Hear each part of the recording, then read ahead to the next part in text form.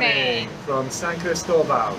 We have started our day back at the same bakery that we were at yesterday, but this time we're going to take it a bit more leisurely. We are sitting down for our coffee for a change, and we've actually bought this amazing bag of goodies what this bakery does is for anything that they didn't sell yesterday, they put it into a bag and they sell the bags for a dollar each. So that's what we're going with. The plan for today is to head to Playa Loberia, which translates to Sea Lion Beach. So hopefully we'll get to see some sea lions. It's about a 45 minute walk from here, so as soon as we're done eating, that's where we're gonna head.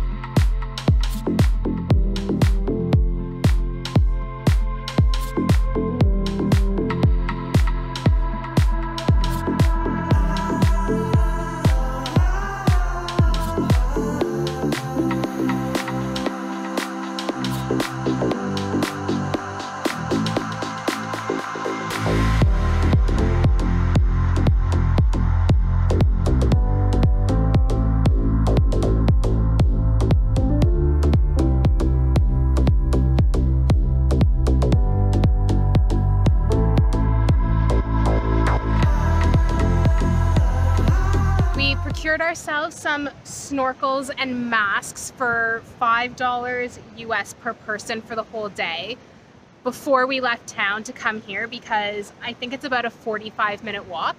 But we have now arrived to Playa Loberia and we're going to hop in the water and hopefully get to snorkel with some sea lions.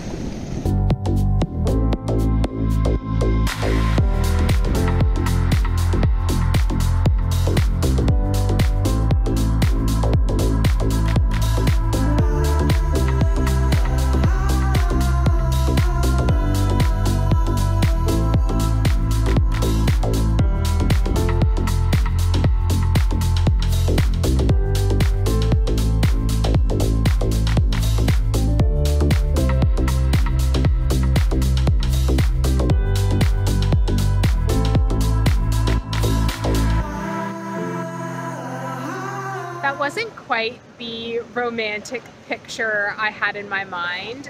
No fault to the seals, but our snorkel equipment is broken. So I can't even breathe out of my snorkel underwater. I take maybe two breaths and then water rushes in. And I don't know, what was wrong with yours? My mask wouldn't tighten properly, so therefore the mask would fill up with water and I wouldn't be able to breathe through my mouth properly because it wouldn't stop my nose and it sucked in and it basically just meant that it was an all-round pretty terrible experience and we couldn't see a lot. So unfortunately, because of that, we weren't really able to get the underwater footage that we really, really wanted to. But despite that, there are so many sea lions here. They are all amazing. And to be honest with you, you don't really even have to get into the water to enjoy your experience of them. You can still see them just great from out here. Yeah, a lot of them are close to the shore at the moment. So that's why we've been able to get some good video with just the normal vlogging camera as opposed to having to use the GoPro. Absolutely. Basically, the long story short is whether you have good snorkeling equipment or terrible snorkeling equipment, you should still come here if you want to enjoy the true privilege that is seeing sea lions in their natural habitat.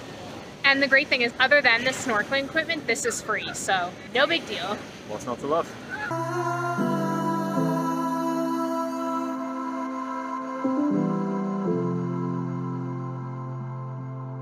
We've just finished lunch at Los Guayacos, and I think that may be the best meal we've had here on the Galapagos, which is saying a lot because every single meal we've had here has been really good. Absolutely, and to be honest, it's been one of the cheaper places that we've visited along this entire street, which just goes to show actually going cheaper might even get you a slightly better experience here if you look out for it. If you want to visit that restaurant, it's called Los Guayacos and it is rated currently a 4.8 on Google, so it's 100% worth a go. And we didn't go there because it was rated that on Google. We just happened to stumble across it and then check it out afterwards because we were like, this is really, really good. Now we are going to head back to our room for a little bit just to wash ourselves off a little bit and get prepared to potentially head out again. When we came home from seeing the sea lions, then I felt exhausted and took a nap. And I said that I wasn't really up for doing anything, so... We're doing something anyway? Yeah! Galapagos just doesn't feel complete without doing this one last thing. But I love you really. I love you too. Thanks for agreeing to do this final thing with me here on San Cristobal. We've just stopped at Playa Mann on our way to the lookout and I feel like this should be Playa Loberia because there are way more sea lions here than the beach we went to this morning. Look at them all. There must be over 50 of them here on this beach.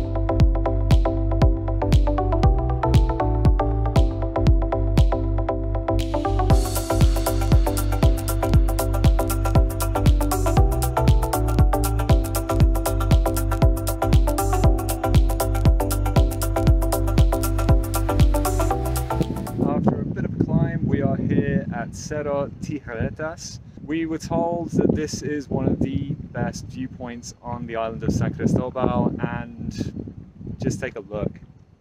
We are not disappointed. The view up here is absolutely incredible. You can see the whole of Puerto Baquerizo Moreno and the port below. You can see out to Kicker Rock. It's absolutely beautiful. So, was it worth getting out of bed? Yeah. Had I had the gift of foresight, then I wouldn't have been complaining the entire way here. But with these views, the sun going down, and a bunch of sea lions just on the deck over there as well, doesn't really get much better than this. And it was free. Yes, it was, which makes it even better.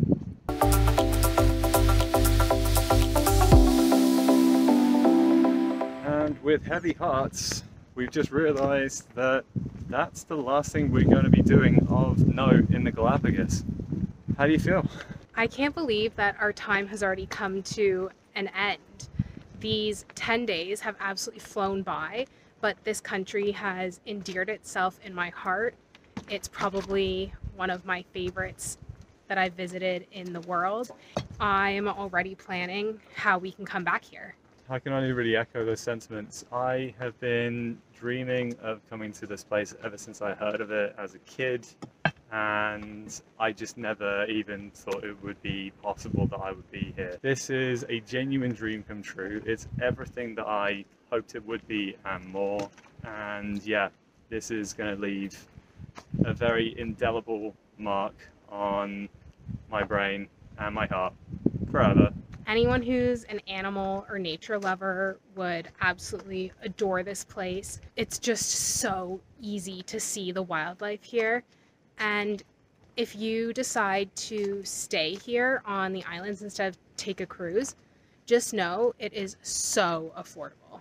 This entire set of islands is like Disneyland for nature lovers. It's absolutely insane. It's like no other place that you'll ever go to. And that is why you just have to come here. As simple as that. So we are sadly leaving tomorrow, but we're so happy we got to share this with you. Absolutely. We hope you really enjoyed this series and that you continue to follow along as we go through the rest of Latin America. But until next time, though, take care. And keep smiling.